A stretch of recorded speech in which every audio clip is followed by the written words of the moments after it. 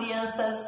Hoje nós vamos para mais uma aula de História e Geografia, bloco 5, na página 145, a história da minha escola. Então a prof escolheu vir aqui nesse ambiente, porque vocês sabem, a prof já contou que eu moro numa casa mais antiga, e aqui nós temos um armário bem antigo, e ele é da, da época do início do século ainda, né? Quando os móveis eram feitos de maneira diferente. Aqui nós temos uma escrivaninha bem antiga também. Essa escrivaninha até ela tem uma tampa aqui, que é, podia tampar as coisas que estavam debaixo aqui, os livros, as coisas, principalmente quando estava bagunçado ou desarrumado, queria se guardar alguma coisa. E o nosso tema da, das aulas de História e Geografia é, de hoje, a, a história da minha escola.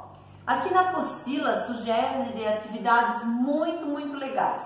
Só que a prof fica triste porque nós não vamos poder fazer a maioria delas porque a gente não está no ambiente escolar. A gente não está lá na nossa escola para fazer as pesquisas, para estar lá, para vivenciar aquilo. Então nós vamos fazer aquilo que é possível fazer em casa. Primeiramente nós vamos observar as duas gravuras aqui na página 145 a imagem 1 e a imagem 2. Essas duas gravuras, elas são na rua 1 de março. Essa aqui de cima é no ano de 1890 e essa aqui é no ano de 2009. Os prédios são os mesmos, só que foram restaurados, foram modificados. Mas nós podemos observar algumas diferenças nas fotos. Nessa aqui as vestimentas são diferentes, os carros são diferentes, Aqui então as pessoas já são vestidas mais da época atual, né? E, e, a gente vê aqui que naquela época os costumes eram bem diferentes, né? Não se usava tantas cores nas, nas casas, nos prédios, né? Era tudo mais, mais assim, natural. E aqui então, virando a folha agora, vocês vão acompanhar com a professora na página 146. Ali na página 146 tem algumas perguntas que vocês vão poder fazer em casa observando as duas imagens, né? Observando a imagem 1 e a imagem 2 aqui, dessa folha que a professora falou, certo?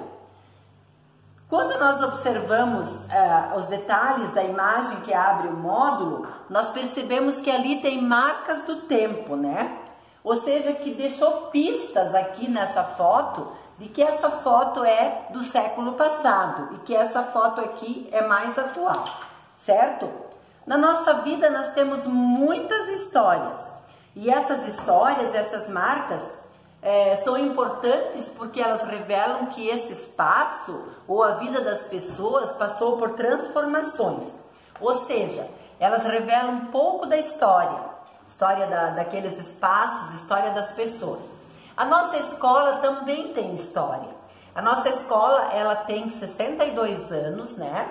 Ela também foi é, fundada no século passado e ela tem muita história. E, e é pena que a gente aqui de, de casa fica um pouco difícil de fazer essas pesquisas, né? Então, é, mas nós podemos conversar com pessoas da nossa casa e podemos ver histórias também que contam lá das escolas de antigamente. Por exemplo, eu estudei numa escola antigamente que era bem diferente de agora.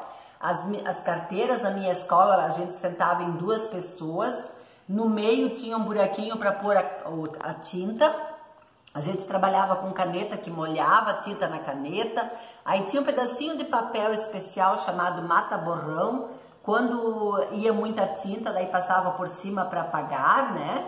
E a gente daí não tinha caneta como tem agora, os lápis de cores, tudo era diferente de hoje. A gente usava um uniforme diferente, um estilo diferente. Nenhuma menina na minha época usava calça comprida de uniforme, só saia, né? E, e a, a, a, maneira de aprender também era diferente de hoje. No meu tempo, as, as crianças na escola aprendiam mais por decorar as coisas.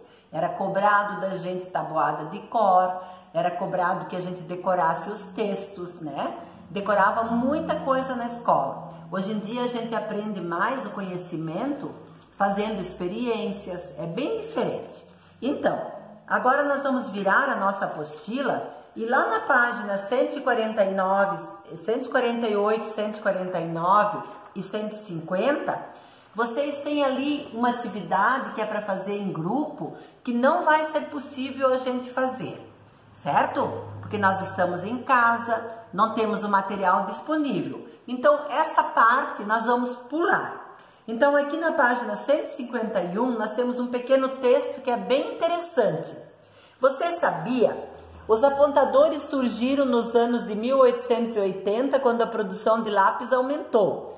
Naquela época existiam apenas apontadores feitos de metal que tinham manivela, bem diferentes dos pequenos apontadores que podemos hoje levar para a escola dentro de um estojo. Então aqui ele era fixo na mesa ou no balcão, com parafuso, o lápis era colocado aqui e virava a manivela. A prof ainda usou esse apontador aqui. Até os anos 1970, ninguém usava cola em bastão, só foi inventada em 1969. Para colar, usava-se goma arábica, uma substância amarelada tirada de plantas. Também era comum usar cola feita em casa, com água e farinha. Então, quando a gente tinha que colar uma figura da escola, a mãe preparava um pouquinho de, de farinha de trigo com água e isso virava uma cola. Para colar aquela beiradinha da casquinha do ovo na Páscoa, também a clara do ovo era utilizada como cola, né? Então a gente não tinha disponível tanta coisa como os alunos têm hoje. Ganhavam lápis, um pouquinho de lápis de cor, e daí ganhavam mata borrão, porque a caneta não dava para pagar, né?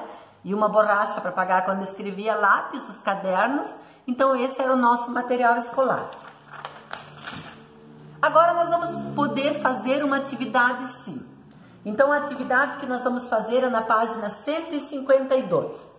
Lá na página 152 diz assim: Como você faria para descobrir o passado de sua escola? Escreva abaixo pelo menos duas estratégias se você tivesse ou quisesse descobrir o passado da sua escola, como você faria? Quais as estratégias que você iria usar para descobrir o passado do Colégio Sinodal Dr. Blumenau? Certo? Então, número 2. Pergunte para uma pessoa que tem a idade entre 50 e 60 anos. Em qual escola estudava quando tinha sua idade Quais eram os materiais escolares básicos que utilizava, ou seja, que materiais usava todo dia? Faça essa entrevista. Vocês vão descobrir coisas muito interessantes. Vão lá para uma pessoa que tem essa idade, pode ser os avós de vocês, e conversem com eles sobre o tempo da escola deles. 3. Converse com a pessoa mais idosa que você conhece e pergunta: Em que escola você estudou quando criança? Em que década você fez seus primeiros anos escolares? Nessa época, em sua escola, meninos e meninas estudavam na mesma sala de aula? Certo? Então, nós vamos fazer as questões 1, 2 e 3, né? Porque a 4 também tem a ver com aquele trabalho de equipe que era para ser feito na sala de aula. Quem sabe ainda a gente vai ter esse ano oportunidade de fazer essa pesquisa, de fazer esse trabalho na escola, se surgir tempo nas nossas aulas de História e Geografia. Então façam essa atividade mas não deixem de conversar com familiares de vocês e perguntar. Inclusive, muitos de vocês têm pais que estudaram no Dr. Blumenau, ou avós, então vocês podem perguntar como é que era a escola naquela época, como é que era o Dr. Blumenau naquela época. E se vocês quiserem, vocês podem compartilhar com a professora, compartilhar com os colegas o que vocês descobriram, certo? Uma boa aula de História e Geografia para vocês. Um abraço.